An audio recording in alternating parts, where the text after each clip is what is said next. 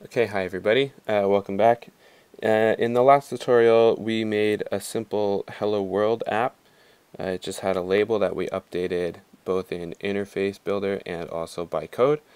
Um, so in this video all I'm going to do is add some buttons um, and these buttons are going to give us the ability to change the text in that label. So let's start by going back to Xcode and opening the uh, project we had open before. So here it is. Um, so if we look back on our storyboard, we'll see that we have a we actually have a label here. Um, just so we can see that, let's make that a color. And we'll go back to standard editor because things are crazy in here. Um, so let's make the background color of this be, well not blue, but there. Okay, so now we know where that label is. Uh, let's just make it the full width because I think I remember that we ran out of space before. There you go, there's your label. So let's add two buttons here, okay? So we'll go into here select objects. And we'll scroll down and find okay a rounded rect button. So let's put one here and one here. Okay so the first one we'll say set red and the second one we'll say set blue Okay, now let's hide the sidebar. And I'm going to bring up my assistant editor again because I want to add some outlets and actions for these buttons. So you can see we've already got one outlet which is where we attach the, uh, the UI label. So now we're going to add a second and third outlet. So this allows us to access this button from our code. So we want this to be an outlet and we'll say red button. And connect that. And then we'll do the same thing for the blue button. Oops. So right click, drag into here, and we'll give that a name of blue button. Okay, now next we're going to create some actions. So they, the outlets allow us to access these buttons and change properties about the buttons from our code. But if we want the buttons to do anything, we have to give them an action. So we're going to right click here, drag over just like we did before, but this time instead of outlet, we're going to say action. And let's call this action uh, make text red.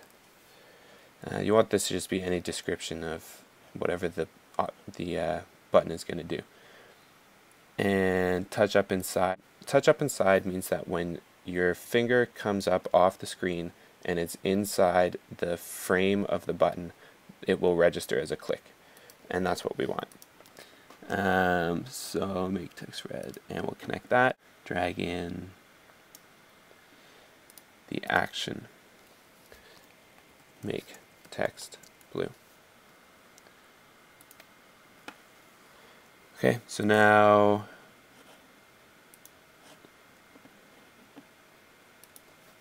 here in the make text red um, method, uh, this takes in the identity of an object, which in this case is the, the button that clicks it, uh, but we don't really need that.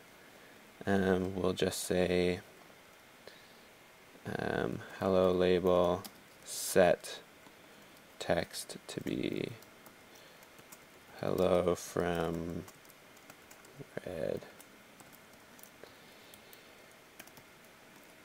And then in this make text blue we'll say hello label set text.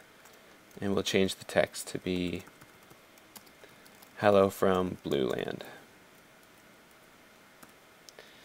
Now, it might be also interesting if we actually change the text color, so let's do that here too. So, again, we're calling a method on the object hello label. We want to set the text color, and we're going to set that to be an object of UI color. Um, and let's make it, so this is from Redland, so we'll make it red color. So this is a built-in color you don't have to actually describe the RGB value or anything like that for this color. It just knows what red is. And then we'll do the same thing down here. Hello label, set text color. Again, it's going to be a UI color. And this will be blue color. And this is not the blue color that we chose before. It's just uh, the default pure blue. Um, okay, and so why don't we at the same time um, let's synthesize those uh, those objects that we created before um, and we'll release them down here as well. And blue button equal to. Um, and again, like before, this is just so that we clear these objects out of memory after we leave this screen. Um, in this particular app, we're never going to leave the screen because we only have one page, but in general, it's a good habit to clean up after yourself.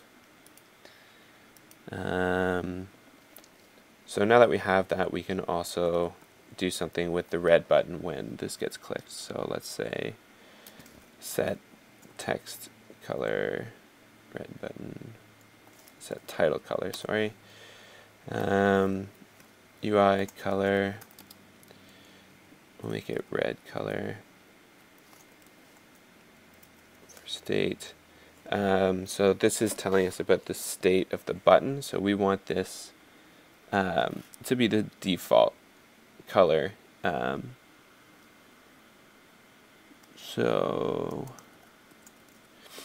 control state normal. So this means that when the, the button is just sitting there, it will be this color, as opposed to our other options here, which were disabled. You can set the button to be disabled. When it's pushed down, it's highlighted. Uh, you can also set it as being selected and reserved. So we want this to be normal so that by default, just when it's a button just there, it will show the color that we want it to have. And then if we're pushing that, we want to make sure that we unpush the blue button. So we'll set the title color to be gray or something. Oops. Light gray color and then UI control state normal. So when we push the red bu uh, button, that sets its own color to be red, sets the other button to be gray, and then it'll update our label. And then down here, we'll do the opposite. So I'll just copy these down here, paste, and we want the red button down here to be set to gray and the blue button to be set colored. So let's run this and see what we get.